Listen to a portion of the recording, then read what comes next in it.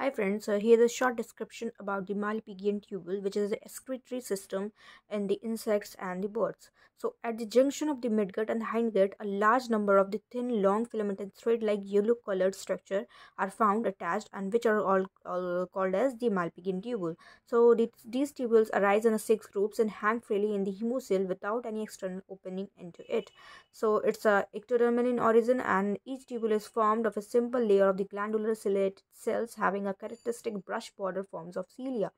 So there is a two distinct region uh, in each tubule that is distal blind secretory region and the proximal absorptive region as figure uh, uh, here.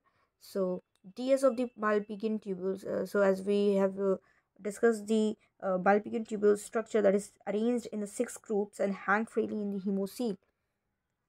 So here is a rough sketch uh, which describes about the location of the Malpighian tubule and it is hang freely in the coelom, coelomoda, uh, sorry, it is hang freely in the hemocoel and it is found between the midgut and the hindgut.